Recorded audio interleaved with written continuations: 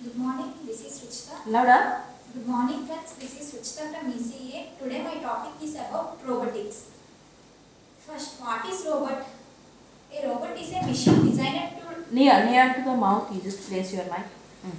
a robot is a machine designed designed automatically with a speed and a precision.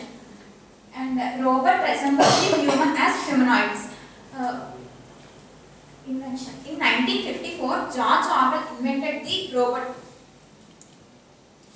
which is named as Unimate. And uh, Joseph Engelberg he, uh, and his colleague Joseph Engelberg uh, formed the first robotic company.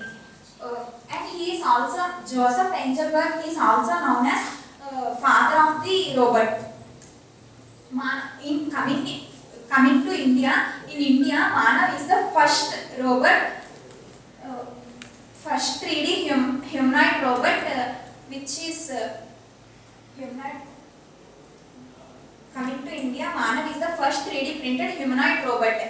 Uh, it was developed in 2014 uh, and uh, in early 2015. In India, according to the robotic statistics,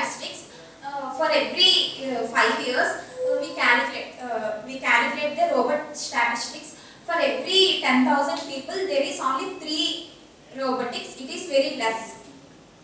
And uh, the word robot comes from Czech word, which means uh, forced labor.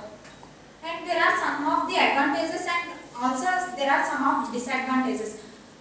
Uh, first one is improve quality essence, uh, increase productivity, work in hazardous environment, and uh, disadvantages are potentially job job loss, uh, initial investment you.